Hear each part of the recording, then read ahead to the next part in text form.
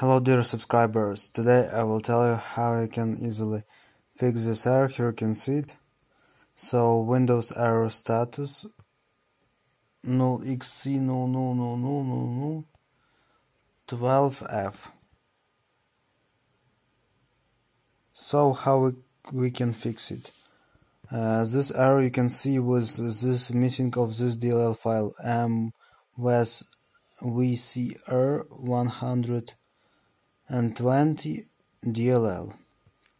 So we just need to download it manually. So just enter this file here in Google um, as we CP 120 DLL download and just write download.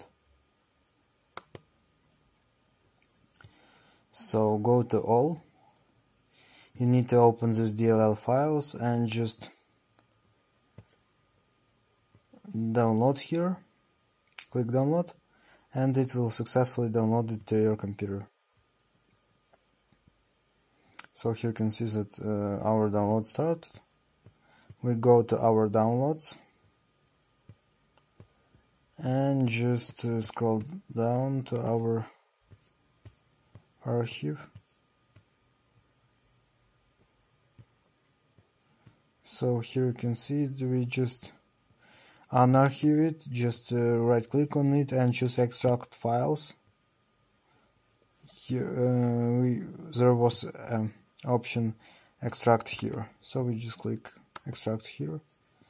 Yes to all. And uh, here you can see our file.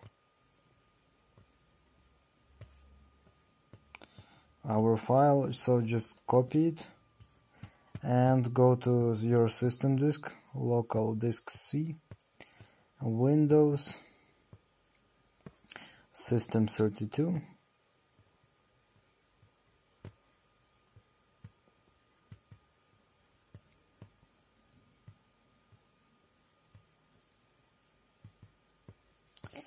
and just paste this file here. So just uh, choose uh, replace the file in the destination and just close it so after you close it just open uh, your CMD so just scroll to search tab and just go to CMD right CMD go to command prompt right click on it and choose run as administrator.